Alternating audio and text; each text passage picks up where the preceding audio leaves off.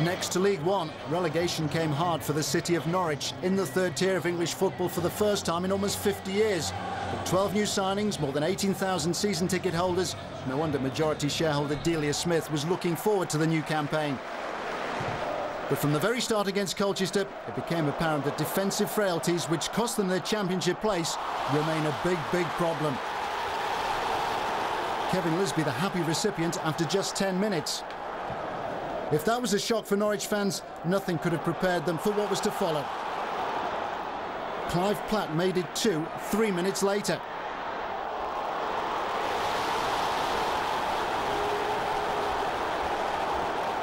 And when Platt scored the third on 19 minutes, the disbelief around Carrow Road started to turn to anger.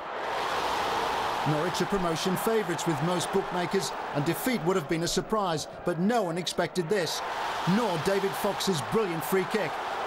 4-0 after only 22 minutes. It was too much for some fans to bear. Those came on and threw season tickets at Bryan Gunn, the manager. Being a club legend counts for nothing when you're being ripped to shreds. Lisbie, a former Ipswich player who's also played for Norwich on loan, rubbed salt into the wounds, making it five before half-time. With the game just about over, Norwich manager Gunn threw on Cody McDonald, the former Essex scaffolder, did his best to lighten the mood, scoring on 72 minutes.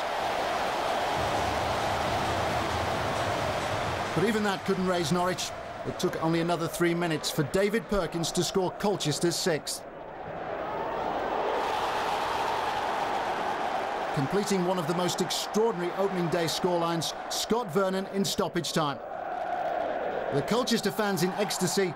They were, after all, the only ones left in the stadium. Norwich's heaviest home defeat ever.